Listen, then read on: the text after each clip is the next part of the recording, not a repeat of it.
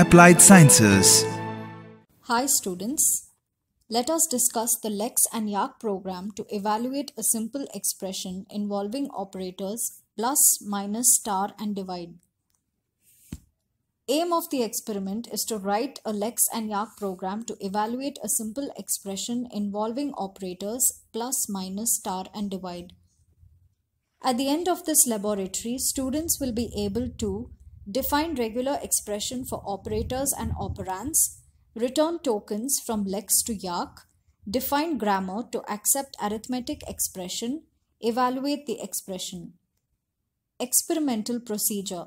Analyze the problem statement, design an algorithm for the given problem statement, implement the algorithm in Lex file, implement the algorithm in Yacc file, compile and execute the Lex and Yacc files, document the results, analyze and discuss the outcomes of this experiment. The question is to write a Lex and Yacc program to evaluate a simple expression involving operators plus, minus, star and divide. Students have to write the problem solving approach, write the algorithm for the problem statement, take screenshots of Lex and Yacc program. Problem solving approach.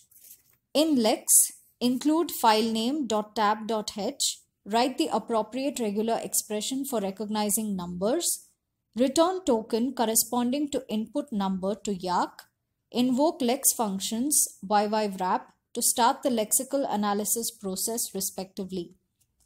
In Yacc, declare the necessary global variables, declare tokens under percentage token and association under percentage left, Write appropriate grammar to accept valid arithmetic expression.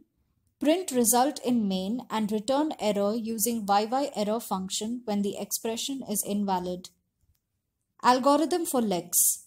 In initialization, include filename.tab.h.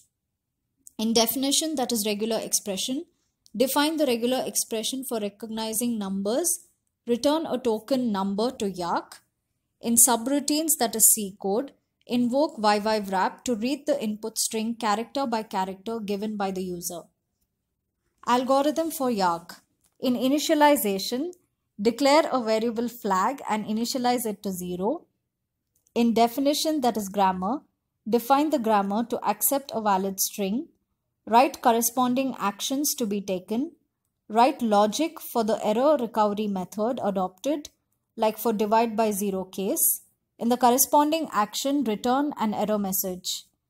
Subroutines or C code. Invoke YYParse to match the expression with a particular rule in the grammar and print the result. Use YYError function to return error if the expression is invalid. This is the regular expression section of Lex program. This is the grammar section of the Yacc program. Consider the lex file name and Yacc file name to be 9 with .l extension and 9 with .y extension respectively. The table shows the commands used to execute the lex and Yacc programs. In results and test cases, students have to put screenshots of the outputs for various test cases. The expected outputs are shown in figure 1 and the test cases for different inputs is shown in table 1. In analysis and discussion, students have to analyze their work mostly in terms of what is the range of inputs that can be given, how the program can be improved to test the complex expression, how the program can be improved using some other techniques or methods.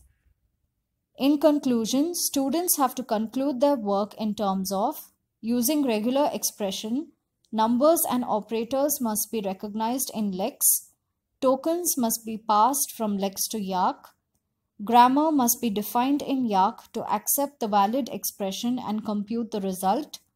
Program must be thoroughly tested for different test cases and results must be validated.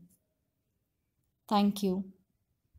At MSR UAS, we spark your imagination unlike any other.